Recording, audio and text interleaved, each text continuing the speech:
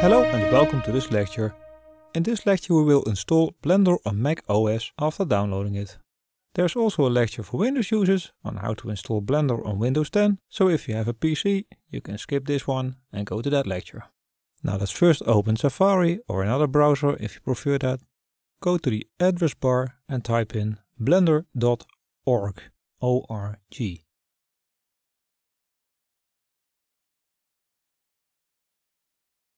This will open up the Blender homepage where we have a Download Blender 2.82a button and a download menu. 2.82a could be different because we are recording this, so you could have a newer version. Click on download in the menu and on this download page you will see again a button download Blender 2.82a or another version. It automatically knows what system we are using, so it says Mac OS. There are other versions available as well, but let's ignore that and click on the download Blender button. This brings us to a thank you page. You are breathtaking. You might get a question from your system asking if you want to download from blender.org and say allow. Blender will start downloading. You can see that here.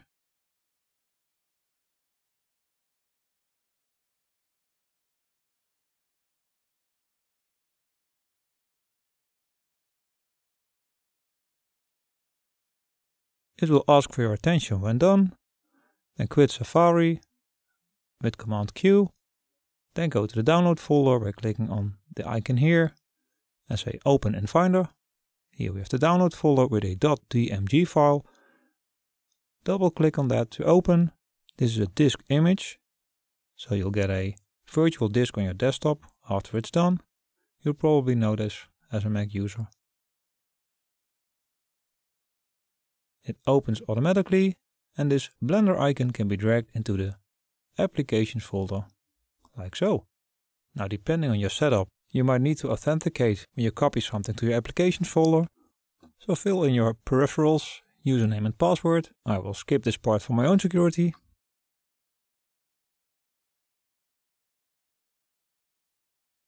And after that, in the applications folder, you will find the Blender application you can pick that up and drag that into your dock for easy access. Then we can close the application folder, close the disk image folder, then eject the disk image by throwing it on the bin. Let's delete the DMG file.